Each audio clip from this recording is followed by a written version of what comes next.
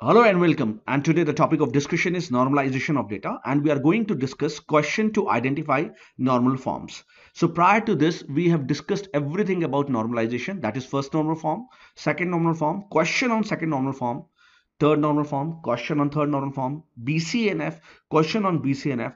And after studying all those, we are now going to understand those questions which are generally asked in various competitions like UGC, NET, GATE and uh, other organizations where uh, the question is comes like that you have to identify that given question is in which normal form. So let's start with the question and before proceeding for the question let me see let me tell you one diagram very clearly. So here we have one diagram which shows that uh, that bcnf 3nf 2nf 1nf that is if if 1nf is representing asia 2nf is representing india 3NF is representing Delhi and BCNF is representing Red Fort, Delhi. So if I'm in Red Fort, Delhi, this means that I'm in Delhi. This means I'm in India. This means I'm in Asia. That is if a table is in BCNF. That is if a table is in BCNF, then 100% is it is 3NF, it's in 2NF and it's in 1NF. But if suppose the dot is here, if I'm in Delhi, then 100% I'm in India, 100% I'm in Asia, but it doesn't mean that I'm in Red Fort. I'm in Delhi, but it doesn't mean that I'm in Red Fort. So what is that? If I am in 3NF, that is if table is in 3NF, then 100% it is in 2NF, it is in 1NF, but it doesn't means that it's in BCNF. Fine. Okay, that is if a table is in higher form, then 100% it is in lower form. So this you have to keep in mind before studying uh, the question, before solving the question. Let's start with the question. Okay, now you have a question that is, the question is that given a table having following uh, attributes, with functional dependencies determine the given r is in which normal form that is you have to determine that given r is in which normal form so now you must be knowing everything so let's start with second normal form. What was second normal form? Second normal form says that no non-prime attribute should be partially dependent on key of a table. That is, if a key of a table is AB and AB is determining a non-prime attribute C, then C should be fully dependent on AB. You cannot write like this A determines C or B determines C. That is, C should be, non-prime attribute should be fully dependent. That is, key should not break. Key should not break. Fine. So this is not in 2NF. Fine. So this was 2NF. This was 2NF. That is, I, I should write what is the definition. That is, no non-prime attribute should be be partially should be partially dependent on on key of a table on key of table. So this was uh, 2nf that is if ab to c then a to x is not possible and a to y or b to y is not possible. That is key should not break that is no non-prime attribute should partially dependent on key. Fine it should fully dependent on key.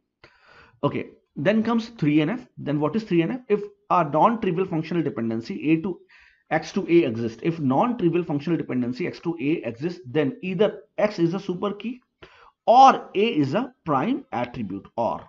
Fine so this was 3nf then comes bcnf that is, if x to a is a non-trivial functional dependency, then x should be a super key. This was BCNF. Fine. Okay. So this was BCNF. So this, uh, you have to keep these definition in mind. Only then you will be able to solve the problem. So let's start. And as I've told you already that in order to solve the question, you need to identify candidate key of a table. So you have given a functional dependency and you have given a table. And I told you many times, kindly watch my video on how to calculate candidate key shortcut method then you will understand how we are calculating. So using this functional dependency let's make the arrow diagram. Pq to r. Pq to r fine.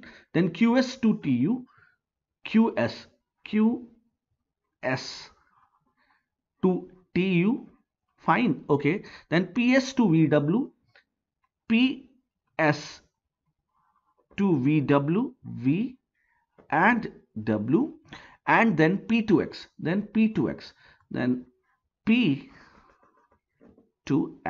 okay fine. So how we find the candidate key? Let me rub all these things. How we find the candidate key? How we find the candidate key? You need to identify those attributes which are not identified by any of the functional dependency. That is which do not have any arrow pointing towards it. P, p is not having arrow so p will be there q is not having any arrow q will be there s is not having any arrow s will be there so till now i don't know what will be my candidate key but my candidate key will have these attributes so let's find the closure of pqs so closure of pqs will have pqs now with the help of PQ, I can write R. So with the help of PQ, I can write R. With the help of QS, I can write TU. I have QS. Yes, I have QS. I can write TU. With the help of PS, I can write VW. With the help of P and S, I can write V and W. With the help of P, I can write X. With the help of P, I can write X. So with the help of PQS, you are determining all the attribute of a table. Therefore, PQS is a candidate key. Therefore, PQS is a candidate key and only PQS will be the candidate key because anything beyond PQS, that is if we increase attribute of PQS, then that will become a super key, not candidate key. So finally, we have PQS as prime attribute because these attribute are part of key. So these are prime attribute and RTUVWX are non-prime attribute, non-prime attribute. Fine. Okay. So let's start. Let's start with, let's start to check whether the given table is in which normal form. So first we check BCNF. Always remember. First we check BCNF. If our table is in BCNF, then no need to check the entire table is in uh, all the normal form. Then if table is not in BCNF, we check 3NF. If table is in 3NF, then no need to check for 2NF.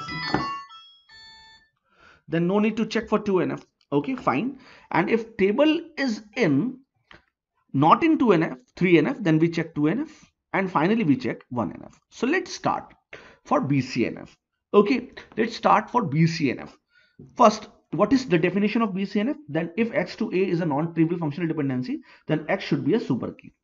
Then if this is the functional dependency then this should be a super key. Is pq a super key? No. Pqs is a super key because our candidate key is PQS and candidate key is a super key. So this is not following BCNF. This is not following BCNF.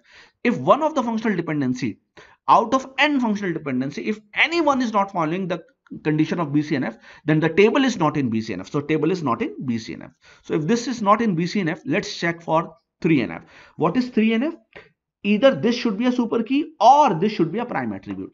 So is PQ super key? No. PQS is a super key. Is R is a prime attribute? No, R is a part of non-prime attribute. So this is not in 3NF. If any of the functional dependency is not in 3NF, the entire table is not in a 3NF. Fine, okay. So the table is not in 3NF. So let's check 2NF. What is 2NF? 2NF says key should not be broken. That is if PQS is determining anything, then neither PQ nor P nor Q determine anything. Okay. So let's see the functional domain. PQ is determining R. What is the definition? That no non-prime attribute should be partially dependent on key and R is a non-prime attribute, fine, and it is partially depending on key. What is key? PQS, but it is depending on part of a key.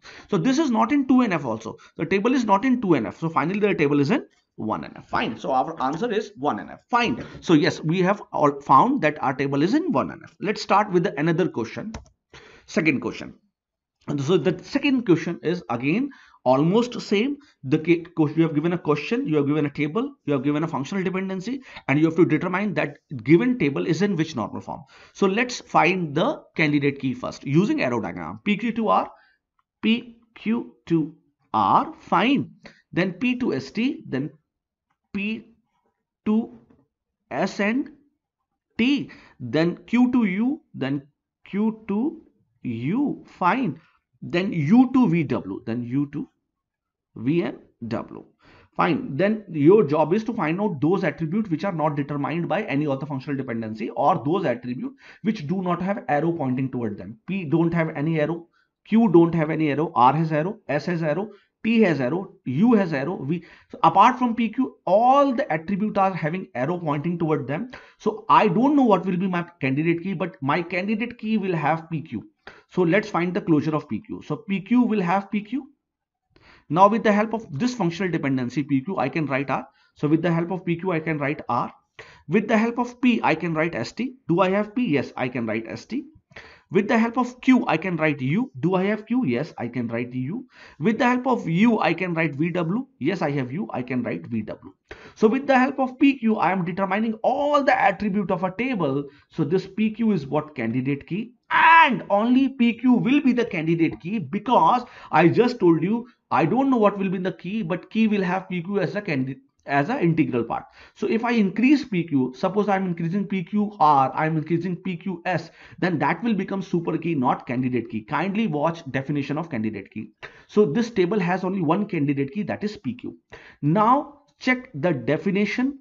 Now see, now see this functional dependency and start from what BCNF because I told you first check for BCNF, then for 3NF, if not then 2NF, and then finally it will be in 1NF. Okay, so what is BCNF? BCNF says if x to a is a non-trivial functional dependency, then x should be a super key or candidate key. Then PQ to R. Is PQ super key? Yes. Now PQ is the super key. So this functional dependency is in BCNF. So it doesn't means that all the functional dependencies are in BCNF. You have to check entire functional dependency. So let's start with this functional dependency. So let's start with this functional dependency. Is this functional dependency is in BCNF? This should be a super key. Is this a super key? No, our super key is PQ. So because of this functional dependency, this table is not in BCNF. This functional dependency is not in BCNF. So this table is not in BCNF. So let's check 3NF. Let's check 3NF. I'll not check this functional dependency again because this functional dependency is already in higher normal form. Let's check this functional dependency. So what is 3NF? 3NF says if x2a is a non-trivial functional dependency, then either x should be a super key or a should be a prime attribute. So if I talk about prime attribute, PQ is a prime attribute, P and Q are prime attribute, and these are non-prime attribute because the part of the attribute which are part of key are prime attribute and attribute which are not part of key are non-prime attribute. Then let's check for 3NF. Is this a prime uh, super key? No, P is not a super key because PQ is a super key. Is ST a prime attribute? No, ST is a non-prime attribute. So this is not in 3NF also so if any of the functional dependency is not in 3NF, the entire table is not in 3NF. So this is not in 3NF also. Fine. Let's check this functional dependency for 2NF. So for 2NF, what is the definition of 2NF? 2NF says no non-prime attribute should be partially dependent on key of a table. That is if AB is a key and it is determining a non-prime attribute C, then A alone should not determine anything. B alone should not determine anything. So here st a non-prime attribute is dependent on only p whereas our complete key is pq so it is depending on part of a key. So this is partial dependency. So if this is a partial dependency that the table is not in 2nf also. So the table is not in 2nf. So finally what we are left with? We are left with only D option, the correct option is D. The table is in 1NF. So finally, we have found that the given table having following attribute P, Q, R, S, T, U, V and W with the following functional dependency is in first normal forms. Let's check the answer. Yes, the answer is correct. The table is in one normal form.